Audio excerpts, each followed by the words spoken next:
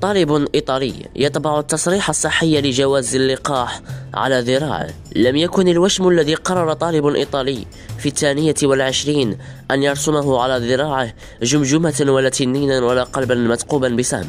بل هو اختار رمز الاستجابة السريعة ليثبت أنه تلقى اللقاح المضاد لفيروس كورونا. وذلك بات في استطاعة أندريا الذي يقيم في مدينة ريغو بإقليم كالابريا جنوب إيطاليا أن يكتفي عند مدخل مطعم أو سينما مثلا بأن يلف كم قميصه صعودا لإظهار الوشم على الجزء الخلفي من ذراعه اليسرى والحصول تاليا على الإذن بالدخول. وقال الشاب لصحيفة إيطالية بعدما أكسبته صورته على التيك توك وإنستغرام شهرة المحلية إنه وشم مبتكر أحب أن أكون مختلفا.